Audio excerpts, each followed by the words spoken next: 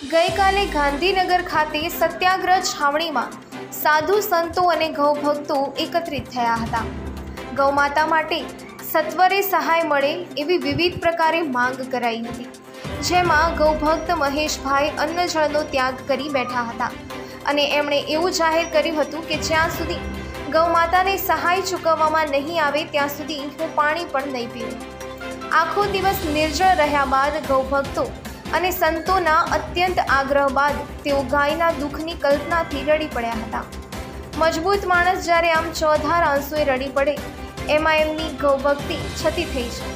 મહેશભાઈ દવે, વ્યક્તિત્વ જ એવું છે કે અડધી રાત્રે પણ ફોન આવ્યો હોય, કે કસાઈઓ, ગાયો કે અબોલ પશુ ભરીને લઈ જાય છે.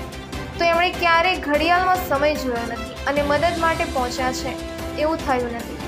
જે માણસને હંમેશા નિર્ભયતાથી લડતા જોયા છે, એમને કાલે રડતા જોઈ હૃદય ગદગદિત બની ગયું જો હજુ એ સરકાર નહીં માને, તો ગૌશાળાના દરવાજા ખુલ્લા મૂકી દેવાનું. મુકુંદ મહારાજ સહિતના સંતોએ એલાન કર્યું હતું. મહંત કનીરામ બાપુ ના એલાનથી આજે ડેરીમાં દૂધ ન ભરાવી ગૌભક્તો પોતાનો વિરોધ નોંધાવી રહ્યા છે. સંતો દ્વારા ચલાવાઈ રહેલ આ ગૌ આંદોલનના સમર્થનમાં આજે બંધનું એલાન પણ ચુસ્ત રીતે પાળવામાં આવ્યું હતું.